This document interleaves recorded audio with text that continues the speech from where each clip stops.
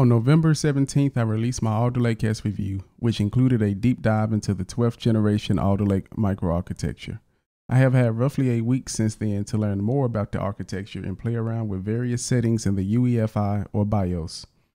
I wanted to overclock my i9 12900K, but I am currently waiting on my LGA 1700 brackets to be delivered.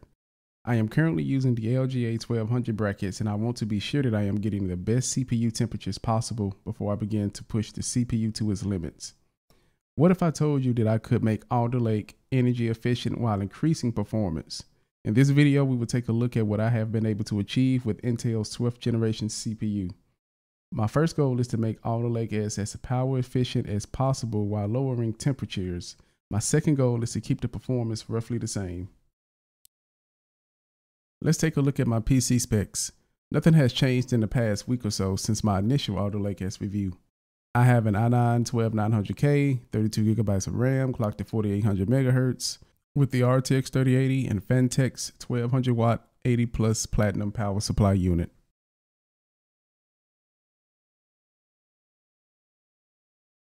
Starting with Alder Lake's voltage, the i9 12900K default CPU V-core voltage average is 1.26. In my first review, I was able to undervolt the i9 12900K V-core to 1.16 volts. But I have taken it even further and lowered my V-core to 1.11. In addition to lowering the V-core, I have overclocked the efficient cores from 3.7 GHz to 4 GHz. The performance cores will continue to use their default frequencies. We see the differences between the stock vCore results against my undervolted vCore results. With the eCores overclocked to 4 GHz, I was able to drop the voltage, temps, and CPU wattage. While using 1.17 vCore settings, the CPU package reported 191 watts on average, which is a 33 watt drop from the stock wattage, and that is with 8 overclocked efficient cores. I was able to drop the temps by 9 degrees Celsius. While using the 1.11 vCore settings, I was able to decrease the CPU wattage by 40 watts and drop the CPU temperatures by 13 degrees Celsius. It is possible that I could get better temperature readings once I receive my LGA 1700 mounting brackets. The main focus and benchmarks at the moment would be on the 1.17 CPU vCore voltage. This is because I want to check for stability and see if I could keep the CPU performance roughly the same as the stock settings while lowering the voltage. Later in this video, I will focus on the 1.11 CPU vCore voltages and benchmarks. After undervolting Alder Lake S, we see a decrease of 93 watts. That is 25% less wattage being pulled from the wall. So far, Alder Lake is already appearing to be very efficient based on my undervolting testing. My test shows that the ARGB fans running at full speed adds a total of approximately 15 watts to the total system power consumption, at the bottom of the chart, I have subtracted the ARGB fan wattage to show the power consumption for only the CPU, RAM, and motherboard. This comes out to approximately 260 watts. Now that I have decreased the power consumption by 93 watts, or 25% less wattage being used by the entire system, we will now take a look at the benchmark results. I have included three results to show several configurations for my CPU. All three results are using DDR5 4800 MHz with the stock timings. The first result shows the stock i9 12900K with vCore 1.26. The second result shows the stock frequency with a lower voltage at 1.17 volts. And the third result shows the 12900K with 1.17 volts with the efficient cores overclocked to 4 gigahertz. The first two results are within the margin of error, so that's great because there doesn't appear to be any performance loss. The last result shows how 300 megahertz over the stock E-cores practically gives you free performance with lower voltage and wattage. I was able to increase my Cinebench score by 523 points. And I was also able to complete y-cruncher 318 microseconds quicker. Although the differences might seem minor, you must remember that this is practically free performance sitting on the table at lower wattage and lower voltage. Now we will take a deep dive into the Alder Lake's efficient core microarchitecture when overclocked from 3.7 GHz to 4 GHz. The performance cores will perform roughly the same since I have not overclocked them, therefore I will not test them at the moment, but later in the video I will benchmark the performance cores when I overclock the DDR5 RAM. The results that are shown on screen are using DDR5 RAM with stock frequency and timings, which is DDR5 4800 MHz. Starting with the L3 cache, we see that four of the eight slowest cores, numbers 17, 19, 21, and 23, all show lower latencies, which should allow better throughput. Core 23 shows the largest drop of 1.8 nanoseconds. Lower is always better when it comes to latency. The L3 cache latency average improved from 14 nanoseconds to 13 nanoseconds for all cores during my testing. Now we will look at various workloads while running the E cores at 4 GHz. The final results will show how much data can pass through both clusters when they are working together. In my original video, while only using the 8 E cores at 3.7 GHz, I averaged 175.55 gigabytes a second across several workloads. And now I am averaging 187.09 gigabytes a second with the E cores overclocked to 4 GHz. Now we'll separate the E core cluster results. The results show how well each cluster works independently on data without transferring data to the opposite cluster or performance cores. Cluster number one increases by 4 gigabytes, while cluster number two increases by 7 gigabytes. Cluster number one total shows 158.7 gigabytes a second, and cluster number two shows 158.92 gigabytes a second. They are now more or less equal in performance. That means that if Intel's Thread Director and Microsoft's Windows 11 scheduler ensures that certain workloads can stay within the cluster, we could see up to 318 gigabytes a second from the efficient cores. Now we will take a look at a single efficient core and see how well it performs. In the original review, I hit 283 gigabytes a second for a single efficient Atom core, but this time around with a 4 gigahertz overclock, I increased that number to 286 gigabytes a second. The best case scenario was 433 gigabytes a second with the 4 gigahertz overclock, which is a 26 gigabyte increase over my original stock results, which only came out to 407 gigabytes. Now we will take a look at the absolute best case scenario for all of the efficient cores working together. Going deeper into the Alder Lakes microarchitecture shows how much data the cores can crunch we see an increase of 365 gigabytes, pushing the overclocked efficient Atom cores up to 2.79 terabytes.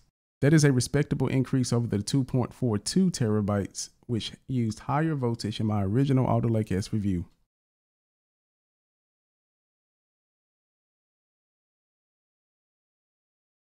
So now we will look at Alder Lake's undervolted vCore set to 1.11 while increasing performance. So far, I have accomplished all my goals, but I attempted to overclock the DRAM as well. I was able to increase my DRAM stock from 4800 megahertz to 5600 megahertz. DDR5 4800, 5000, and 5600 are the main results that I will be focusing on. Now we will take another deep dive into the microarchitecture. We see that the DRAM bandwidth scales nearly perfectly with the theoretical DRAM bandwidth. From 4800 megahertz to 5600 megahertz, I was able to increase my DRAM bandwidth by 18% from 75.7 gigabytes a second to 89.4 gigabytes a second. The small data set benchmark shows a decrease from 66.43 nanoseconds to 57.07 nanoseconds, which is a 14% decrease. The larger data set shows a very nice decrease of 75.40 nanoseconds to 68.45 nanoseconds, which is a 9% decrease. The performance core latency average for all individual cores came out to 59.10 nanoseconds, with DDR5 5600 megahertz. That is a large drop of 7.09 nanoseconds for the performance core's individual latency to DRAM. The efficient core latency to DRAM only dropped by 3.55 nanoseconds, which is still a pretty good drop, the efficient core's latency was already low in my previous video. Earlier in this video, we focused on the efficient cores at 4 GHz since I did not overclock the performance cores. Now we will focus on both the performance and efficient cores since I have overclocked the DDR5 RAM to 5600 MHz. In this chart, you will see that I have separated the performance core and efficient core results to show my performance increases with the DDR5 5600 MHz overclock we see an increase of roughly 10 gigabytes with all eight performance cores working together.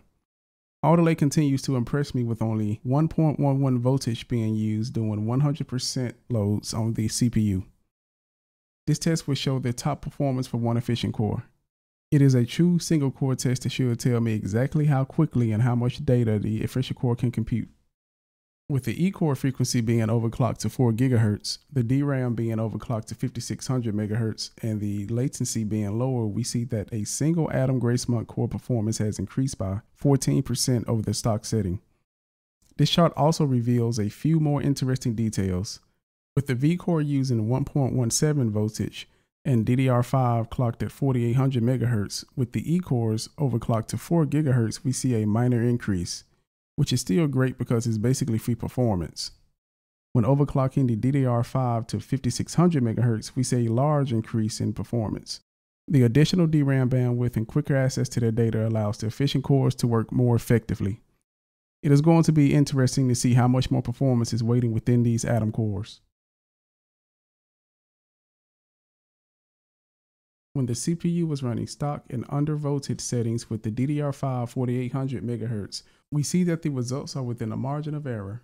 Only a 0.1% difference between the first two results, so those results are fine. When I overclocked the E-cores to 4 GHz and the DRAM to 5600 MHz, I increased my score by 576 points. In 7-zip, the compression test shows a 13% increase. The decompression test shows a 4% increase, and the total rating shows a 8% increase. Now let's take a look at y-cruncher using various voltages and overclocks. We can see how the performance scales as I undervolt and overclock the CPU and DRAM. Overclocking the E-cores to 4 GHz with the DDR5 clock at 5600 shows that the benchmark completes 2.02 microseconds quicker. That is roughly an 8% gain in performance while dropping the total system wattage by 93 watts or in other words, using 25% less power than stock voltages. My ultimate goal was to undervolt, lower wattage, and temperatures while keeping the same stock performance or near stock performance. I went from the CPU V-core with the setting of 1.27 to only using 1.11. I overclocked the E-cores to 4 GHz while overclocking the DDR RAM to 5600 MHz. Initially, I thought that I would need to underclock the performance cores, but they are running fine. My CPU package wattage decreased from the stock setting, which used 224 watts, to only using 184 watts on average. The wattage from the wall outlet decreased from 368 watts to only 275 watts on average. That is a drop of 93 watts from the wall outlet while increasing performance.